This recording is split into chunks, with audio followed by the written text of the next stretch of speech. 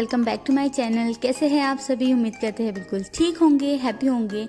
तो बच्चों के वेकेशन चल रहे हैं और हम आज जा रहे हैं Mall of Oman Mall of Oman में बनाया गया है लार्जेस्ट इंडोर पार्क जो कि है स्नो पार्क तो आज हम वही जाएँगे। स्नो ओमान में मिलेंगे आपको बहुत सारी डिफरेंट एक्टिविटीज़ और डिफरेंट एक्टिविटीज़ के लिए रखे गए हैं डिफरेंट चार्जेस तो यहाँ आपको मिलेंगी सबसे लोएस्ट वाली entry fees 12.5 rial one year से छोटे बच्चों को एंट्री नहीं है और अगर आपके बच्चे टू ईयर से थ्री ईयर के अंडर है तो आप लकी है क्योंकि इन बच्चों को यहाँ पर दी गई है फ्री एंट्री तो ये रहा यहाँ का एंट्री एरिया यहाँ पर दिए गए हैं हमें कुछ लॉकर जिसमें हम हमारी पर्सनल चीज़ें रख सकते हैं और चेंजिंग एरिया भी यहीं पर दिया गया है।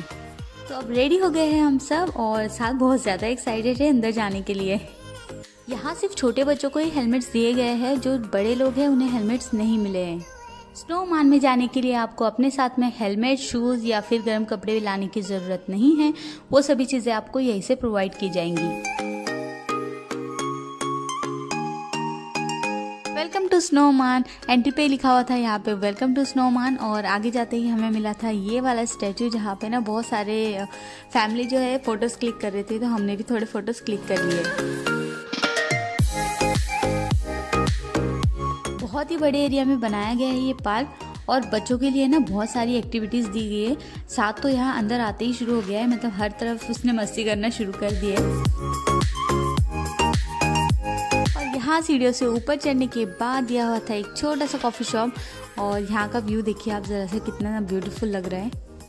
हाँ ऊपर चढ़ने के बाद ना एक टूटी फोटी से बोर्ड दिखाई दे रही थी तो साथ बता रहा था कि मम्मा देखिए ये बिल्कुल ना same to same Raya movie वाली बोट है। कॉफ़ी शॉप के सामने ना ये सिटिंग एरिया भी बना हुआ है, ताकि कॉफ़ी को ना यहीं बैठ के इंजॉय किया जाए। बट अब, अभी हम लोग आए हैं तो कॉफ़ी वगैरह तो पीना नहीं है तो अब यहाँ से चलते हैं।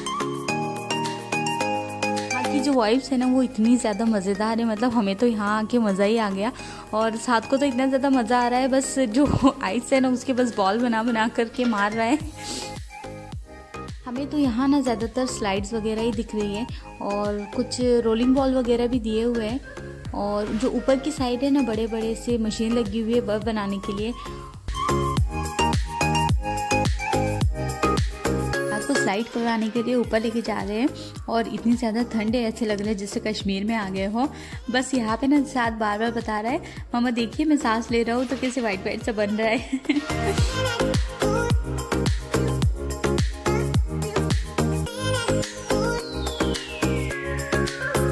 मोहम्मद साद को ना क्रेन जेसीबी और इन सब चीज़ों में ना बहुत ज़्यादा इंटरेस्ट है। और यहाँ पे साद को मिल गया है ये क्रेन तो मैडम ज़रा साद को बता रहे हैं कि इसे ऑपरेट कैसे करना है।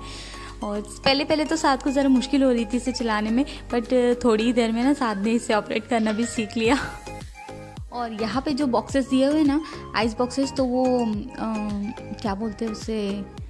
स्पंज और रेगजिन का यूज़ करके बनाए हुए तो थोड़े थोड़े ना खुल गए हैं तो बस साथ को बड़ी मुश्किल हो रही है उन्हें क्रेन में लेने के लिए। यहाँ पे ना एक छोटा सा इग्लू बना हुआ था, बिल्कुल सेम टू सेम एल्सा वाली मूवी वाली फीलिंग आ रही थी। और इस वाले इस इग्लू के ना थोड़े थोड़े बॉक्स टूटे हुए थे तो उससे जुड़ाना था। बट साथ बड़ी कोशिश कर रहा था, बट उससे जुड़ ही नहीं रहे थे।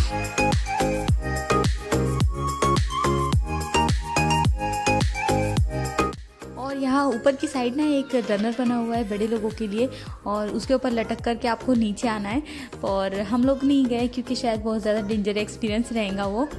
और इस साइड नीचे एक दिया हुआ है फ़ूड एरिया जहाँ पे आप कुछ भी अगर खाना चाहते हैं तो यहाँ से ऑर्डर करके भी खा सकते हैं। कई जगह पे ना इस तरह से हाइट मेजर वाली स्केल बनी हुई थी। और अगर आपका हाइट परफेक्ट है तो ही आप लोगों को अंदर जाने दिया जा रहा था। तो कई कई एक्टिविटीज़ में ना साइड के, साथ की जो हाइट है, वो थोड़ी छोटी पड़ रही थी। तो कई सारी चीज़ें ना साथ कर नहीं पाया।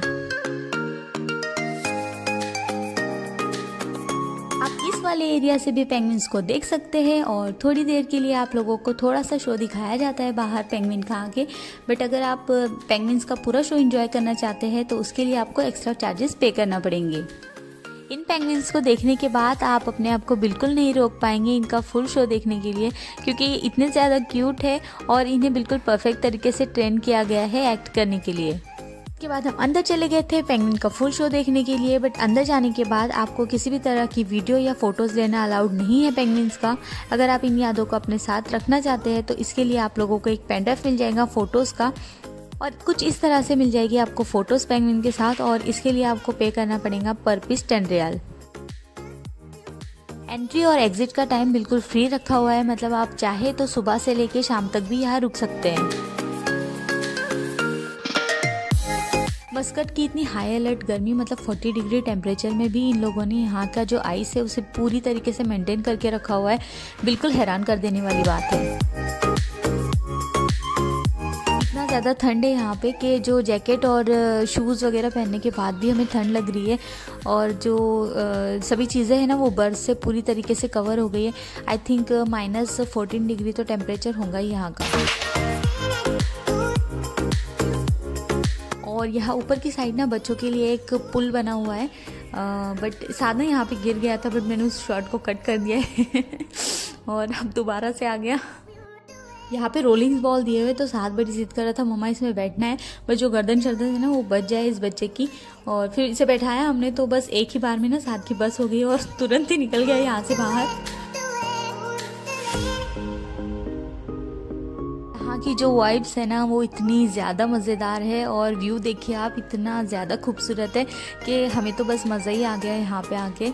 और चार पाँच घंटे ना आपके कहाँ गुजर जाते हैं ना, आपको पता ही नहीं चलता इन सब एक्टिविटीज़ करने में।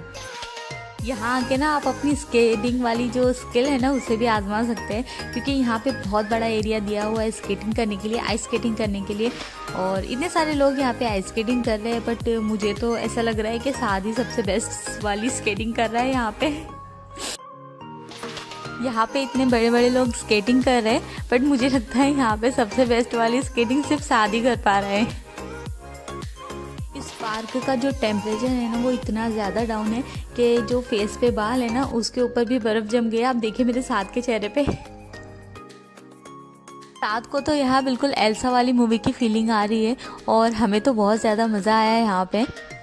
फुल डे इन्जॉय किया हमने बच्चों के साथ और बच्चों का यह वेकेशन इन्जॉय करने के लिए बेस्ट वाली जगह है द स्नोमान तो बस यही था आज का हमारा फन डे ब्लॉग और मिलते हैं नेक्स्ट वीडियो में। तब तक के लिए अपना बहुत सारा ध्यान रखिएगा और अल्लाह हाफिज़।